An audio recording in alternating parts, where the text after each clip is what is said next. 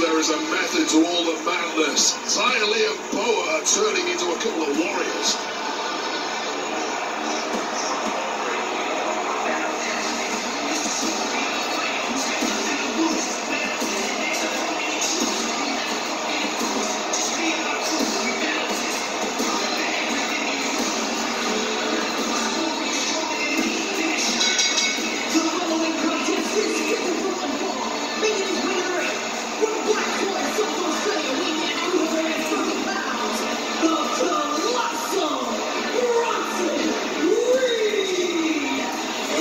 Last week when it was announced Reed would be back this week, you were excited. Oh man, am I mad. This, seeing this superstar, this guy, his potential is just unlimited here in NXT.